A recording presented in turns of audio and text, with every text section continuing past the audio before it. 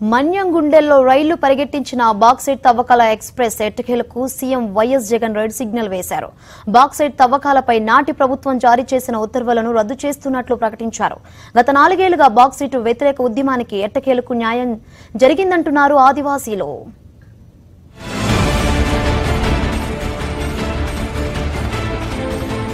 Visakha agency ప్రకృతి సోయగాలతో ఆకట్టుకునే ఈ ప్రాంతంలో అపారమైన ప్రకృతి వనరులు ఉన్నాయి.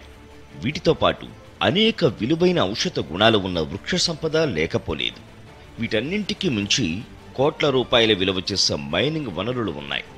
ఒక్క విశాఖ ఏజెన్సీలోని గాలికొండ రక్తికొండ చిత్తంగొంది చింతపల్లి తూర్పుగోదావరి జిల్లాలోని గుర్తెడ అటవీ ప్రాంతంలో సుమారు డెబ్బై ఐదు కోట్ల టన్నుల బాక్సైట్ నిక్షేపాలు ఉన్నాయి. ఈ రెండు జిల్లాల పరిధిలో మెట్లకొండతో పాటు సుమారు ఇరవై ఏడు బాక్సైట్ కొండలు ఉన్నట్లు గుర్తించారు. ఈ ఖనిజ వనరులపై మైనింగ్ మాఫియాకు కన్ను పడింది. ఎలాగైనా మైనింగ్ కొండలను తవ్వి కోట్ల రూపాయలను సంపాదించాలని చూశారు.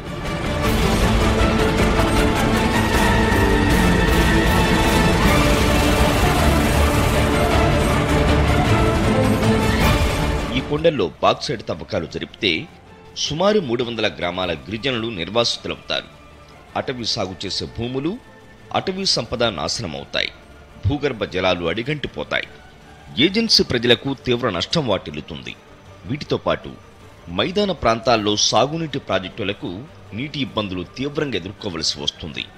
ఇదిలా ఉండగా గత తెలుగుదేశం ప్రభుత్వం రెండు వేల పదిహేనులో విశాఖ ఏజెన్సీలోని చింతపల్లి మండలం జెర్రెలలోని మెట్లకొండ బలపంలో బాక్సైట్ కొండలను తవ్వుకోవడానికి ఏపీఎండీసీకి అనుమతులిస్తూ జీవో నెంబర్ తొంభై ఏడును విడుదల చేసింది ఇదే జీవో గిరిజనులకు కంటి మీద కునుకు లేకుండా చేస్తుంది.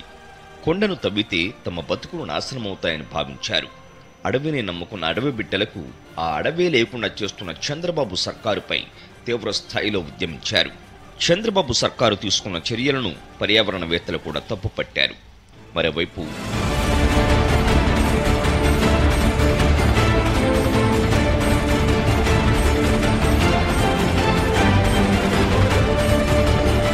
బతుకులను చిత్రం చేస్తున్న బాక్సైడ్ తవ్వకాలను వ్యతిరేకిస్తూ గిరిజనులు పెద్ద ఎత్తున ఉద్యమానికి దిగారు. ఆదివాసుల ఉద్యమానికి అప్పటి ప్రతిపక్ష నేత నేటి ముఖ్యమంత్రి వైఎస్ జగన్మోహన్ రెడ్డి సంఘీభావం ప్రకటించారు. గిరిజనులకు అన్యాయం జరిగితే సహించేది లేదని తీవ్రస్థాయిలో చంద్రబాబు సర్కారుపై నిప్పులు చెరిగారు. దీంతో ఉద్యమం పతాక స్థాయికి చేరిందన్న విషయాన్ని గ్రహించి భయంతో చంద్రబాబు గత ఏడాది బాక్సైడ్ తవ్వకాలకు అనుమతులను నిలుపుదల చేశారు. అయితే దీనిపైన గిరిజనుల నుంచి తీవ్ర వ్యతిరేకత వ్యక్తమైంది. అనుమతుల నిలుపుదల కాదు రద్దు చేయాలని డిమాండ్ చేశారు. కానీ గిరిజనుల గోడును చంద్రబాబు ప్రభుత్వం పట్టించుకోలేదు. గత ప్రభుత్వాలు గత పాలకులు చంద్రబాబు నాయుడు గారు అయితే బాక్సైట్ను రద్దు చేస్తాను. బాక్సైట్ వల్ల ప్రజలకు గిరిజన ప్రాంతంలో ముప్పు జరుగుతుంది ఇబ్బంది పడుతున్నారు రద్దు చేస్తానని చెప్పి మాటలకే పరిమితం చేశారు కానీ దానికి కార్యరూపం దాల్చిన పరిస్థితి అయితే లేదు. ఎన్నికల సమయంలో పాడేరు సభలోనూ గిరిజనుల సాక్షిగా వైఎస్ జగన్మోహన్ రెడ్డి మరోసారి హామీ ఇచ్చారు. అధికారంలోకి రాగానే బాక్సైడ్ తవ్వకాలకు అనుమతిస్తూ జారీ చేసిన జీవోను రద్దు చేస్తానంటూ గిరిజనుల్లో భరోసా కల్పించారు. దీంతో ఇచ్చిన మాట ప్రకారం వైఎస్ఆర్ కాంగ్రెస్ పార్టీకు విశాఖ ఏజెన్సీలో గిరిజనులు పట్టం కట్టారు.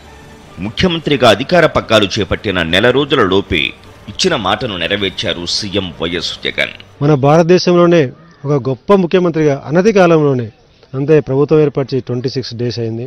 ఈ ట్వంటీ డేస్లో ఇటువంటి గొప్ప నిర్ణయం తీసుకున్న ముఖ్యమంత్రిగా మా గిరిజన ప్రాంత ప్రజల్లో ఎల్లకాలం మేమంతా జీవించినంత కాలం ఇది గుర్తుకుండు గుర్తుండిపోయే సంఘటన.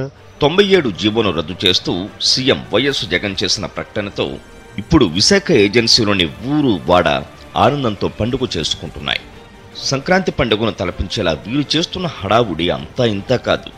తమ జీవన విధానాన్ని పరిరక్షిస్తూ మనుగడకు కొండంత ధైర్యాన్ని నింపిన వజస్సు జగన్కు రుణపడి ఉంటామంటున్నారు గిరిజనులు.